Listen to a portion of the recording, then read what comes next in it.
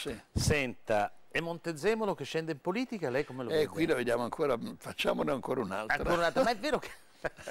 andiamo, andiamo di silenzio in silenzio, Sì, sì, silenzio in Senta, ma è silenzio. vero che lei con Montezemolo ha avuto uno scontro durissimo, che l'ha cacciato dalla Fiat, l'ha mandato a Cinzano perché vendeva gli incontri con l'avvocato Agnelli, forse anche con lei, non so. Sì, è vero questo, ma io non l'ho, eh, non è che l'abbiamo, lo scontro durissimo non c'è stato, Ah, non c'è stato. perché lui ha ammesso quello che avveniva, eravamo insieme l'avvocato Gianni Agnelli ed io, e lui naturalmente ha lasciato immediatamente l'azienda, l'avvocato, non io, eh, gli ha procurato poi una posizione nella Cinzano.